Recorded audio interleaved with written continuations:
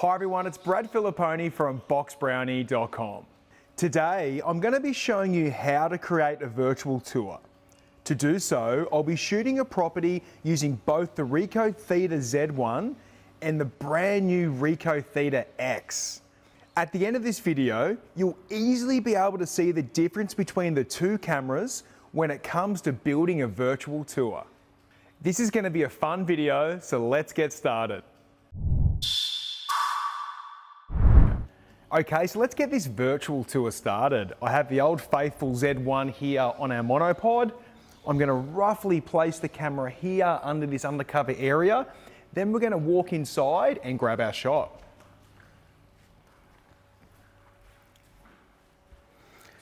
Roughly gonna stand here. Everything looks great in, in, you know, in, in the 360 image. Um, what's really important is I'm gonna put my option setting onto HDR rendering. For single shots, this is the uttermost important setting you can use. So that's all done. Gonna hit the shutter. The camera's just taking the image. That has been taken. What I'm gonna do now is switch cameras. I'm gonna take the, take, you leave the monopod where it is, take the camera off, and just throw on the Theta X. Okay, so the brand new Theta X is on the monopod right now. We're set up the shot, ready to go. Monopod has not moved. We're simply gonna walk back inside, capture our shot, and then move the camera to the next destination. Doing a quick sort of, you know, breeze by my shot. My option setting is HDR rendering, which is exactly what we want. I'm taking the single shot. Um, this camera has a two second self timer on there, which is not a bad thing for any camera shake. And that is our first shot done. So on the screen right now, we are showing you a virtual tour that was shot with the Ricoh Theta Z1. As you can see, the quality is really, really nice. This photo has been edited as part of this virtual tour, um, and the quality is just amazing. Right now, we've just clicked over to the brand new Ricoh Theta X. As you can see, the quality is really, really good also. Remember, this shot has also been edited and please keep in mind that there is a bit of cloud cover outside today. So there could be sort of sunlights and shadowings a little bit differently outside that balcony area. So please take note of that. So as you can see, that is the first shot taken inside. We're gonna take a handful of others and then finish up with another shot outside. So let's get the Z1 back on and take our next shot. Okay, so next shot is our dining, kitchen, living area that does back onto the undercover area we just shot. So I'm gonna put the Z1 down here on the monopod. I'm probably gonna come around the corner here, um, you know, around the side, which is just a really, you know, just a hallway. So that's gonna be a great shot. We're gonna be out of shot, which is most important. Cameraman is out of shot, having a look. Our HDR rendering setting is on. One shot, the camera has captured that image. So now I'm gonna take the Z1 off, chuck the Theta X on and do the exact same thing. Okay, our next shot, Theta X is on the monopod, hasn't been touched.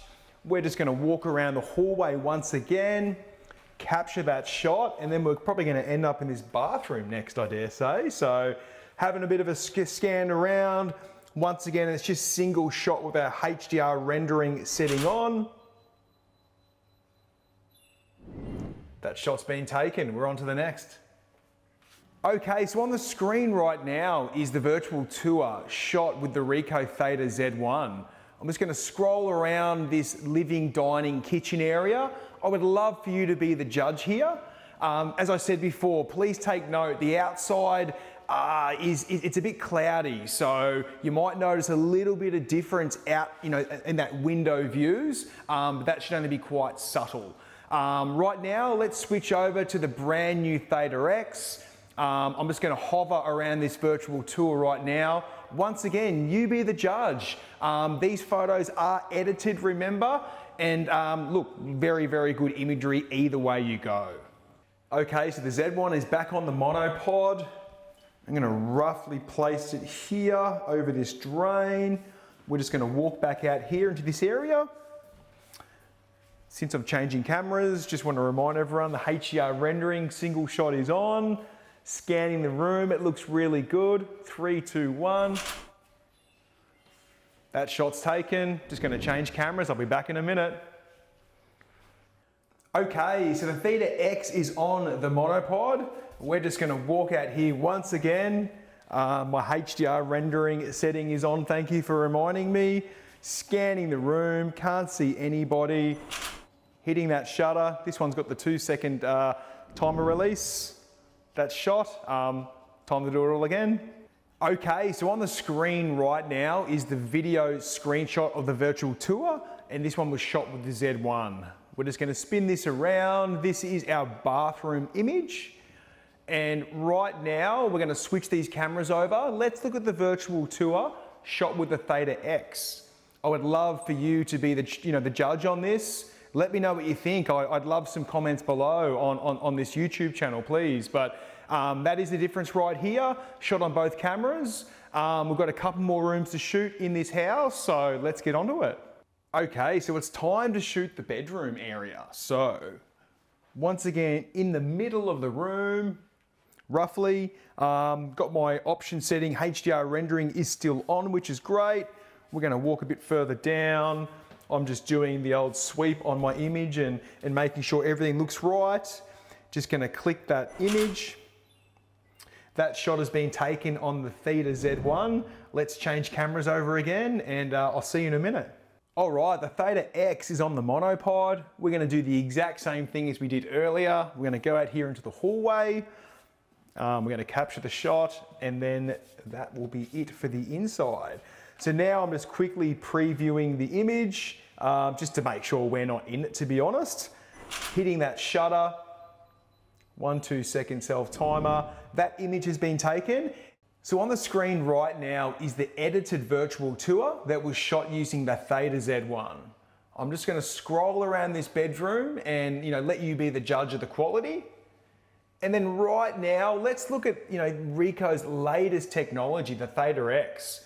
What's your thoughts on it? I'm just gonna scroll around this bedroom the exact same way and uh, I'd love for you to be the judge.